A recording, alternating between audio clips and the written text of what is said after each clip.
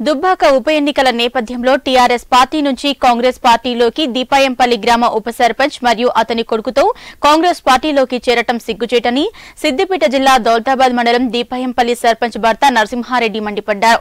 ఈ సందర్భంగా ఆయన మాట్లాడుతూ దుబ్బాక ఉప ఎన్నికల్లో టీఆర్ఎస్ పార్టీ అభ్యర్థి సోలిపేట సుజాత లక్ష మెజారిటీతో గెలవటం ఖాయమని ధీమా వ్యక్తం చేశారు. కల్లబుల్లి మాటలు చెప్పడం కాంగ్రెస్ బీజేపీ పార్టీలకు అలవాటని ఎద్దేవా చేశారు. ఈ కార్యక్రమంలో పలువురు గ్రామ టీఆర్ఎస్ నాయకులు పాల్గొన్నారు.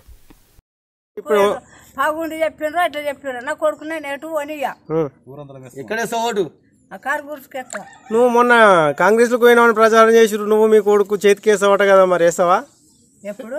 అన్నారు అరే ఎప్పుడు అంటే? ఇగో నా మీద ఎవరెవరు పగబెట్టి అంటుర్రు అంతా ఎరక. ఉమ్, ఇప్పుడు దేనికి వేస్తావు? నేను కారు గుర్తుకెత్తా మీ కొడుకు? నా కొడుకు కూడా నేను చెప్పినట్టు నా కొడుకు కూడా. ఇంకేమైనా చెప్పాలనుకుంటున్నావా చెప్పు. ఇంకా ఊరేమని చెప్పేది ఉందా? ఇన్ఛార్జ్ అట ఆయన.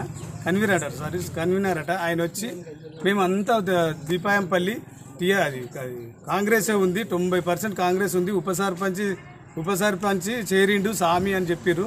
సర్పంచ్ ఒకడే ఏకగ్రీయం ఉన్నాడు. అంత టీఆర్ఎస్ అది సారీ అంత కాంగ్రెస్ అని చెప్పిండు. తప్పుడు ప్రచారం. ఇక ఉప సర్పంచ్ లేడీ అసలు. అతనికి లేడీ తెలుస్తలేదు.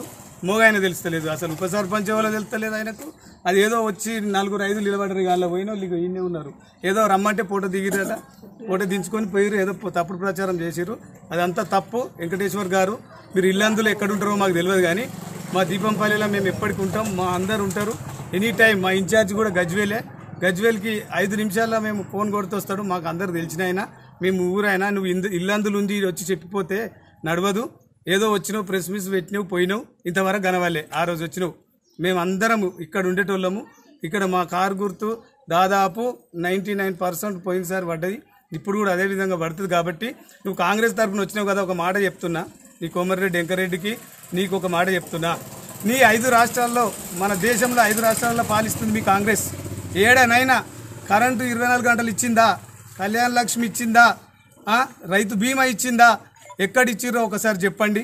నేను ఛాలెంజ్ చేస్తున్నా నువ్వు అన్నావు కదా దీపంపల్లికి అభివృద్ధి చేసింది కాంగ్రెస్ అన్నావు కదా నేను ఛాలెంజ్ చేస్తున్నా నువ్వు రా నువ్వు వచ్చి మా దీపంపల్లికి టీఆర్ఎస్ ఎట్లా చేసింది కాంగ్రెస్ ఏం చేసిందో మేము సవాల్ను స్వీకరిస్తాం నువ్వు వస్తావా? అది ఛాలెంజ్ ఏది పడితే అది చెప్పి మసిబూచి మారడికాయ చేస్తే మాత్రం ఇక్కడ ఎవరు నమ్మరు.